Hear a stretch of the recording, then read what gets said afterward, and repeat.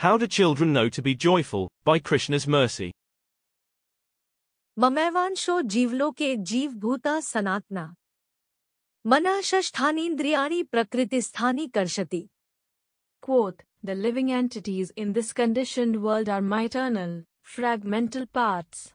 Due to conditioned life, they are struggling very hard with the six senses, which include the mind.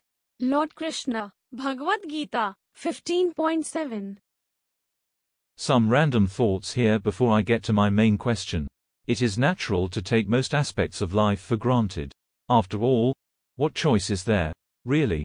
I can learn all I want about the sun, for instance, but what is that going to do for me? I can neither produce an equivalent, diminish the one currently in the sky, nor even get anywhere near it. At the same time, there is the tendency to inquire. We human beings can ask questions. The other day I was eating an avocado.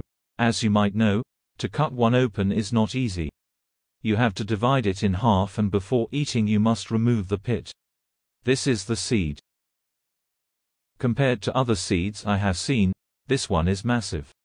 How was it placed right in the same spot, every time? How does the seed know to grow into a fruit-producing tree? Why does this seed only produce more avocados? The seed is not that large or complex. It must obviously use other aspects of matter to develop a body. Why do not all seeds develop the same kinds of bodies? If the answer is that nature programmed it that way, why can't we change things? Why can't we come up with our own mechanism, whereby we produce something that has the potential for future creation, for furthering the line? I want to focus on children, though. At a recent gathering celebrating one of the holidays local to the area, children assembled and played different games. For the adults, it was amazing to see. The children were so happy. Not a bored face among them. They were so thrilled that none of them wanted to go home. The parents had to force them, after some time. Where does that enthusiasm come from? Why are they so happy? Why does that disposition change? Why are not adults the same way? How is it that the more intelligent you become, the more miserable you are? Do you get what I am saying? Bhagavad Gita answers the question of pre-programming.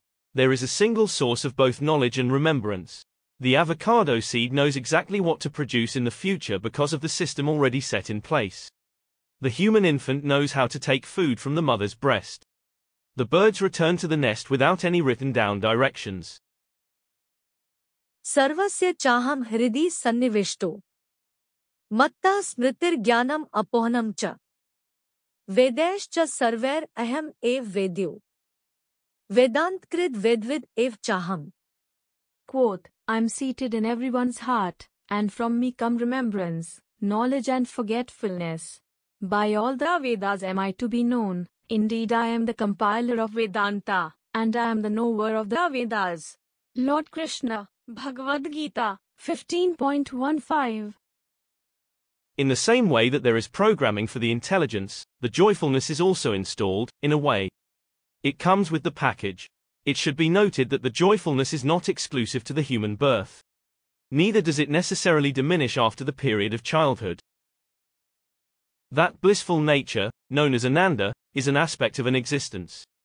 As there is the saying of, I think therefore I am, a person can also say, I am, therefore I am joyful. Three Sanskrit words combine together, in this regard. Sak Chid Ananda, the living beings are eternally joyful and full knowledge. They inherit this property from the Supreme Personality of Godhead. They are joyful because He is. They are knowledgeable because He has the knowledge. They are as eternal as He is. God is the original source and the living entities are like His sparks. The Sanskrit word is amsha. These amshas are blissful in nature. That is the way. In this sense, we can say that the purpose to an existence is to experience bliss. That bliss is through service, through the connection to the original source. Vishnu शक्ति परा प्रोक्ता क्षेत्र व्याख्या तथा परा अविद्याकर्म सज्ञानया तृतीया शक्तिर quote the potency of Lord Vishnu is summarized in three categories namely, the spiritual potency, the living entities and ignorance. The spiritual potency is full of knowledge. The living entities, although belonging to the spiritual potency, are subject to bewilderment, and the third energy, which is full of ignorance, is always visible in fruitive activities. Vishnu Purana 6761 It is indeed seen that joyfulness tends to diminish with the onset of old age. This does not have to be the case. Living a life conscious of the Supreme Lord and His ever extending shelter is the only way to become a kid again, to experience the same enthusiasm and more, in a renewing manner, day after day and even life after life. In closing, when Bhakti service to find, like time to rewind, and kid to be again, renewing enthusiasm then, nature from origin coming, knowledge path to becoming, of Sak Chid Ananda way, in divine shelter to stay.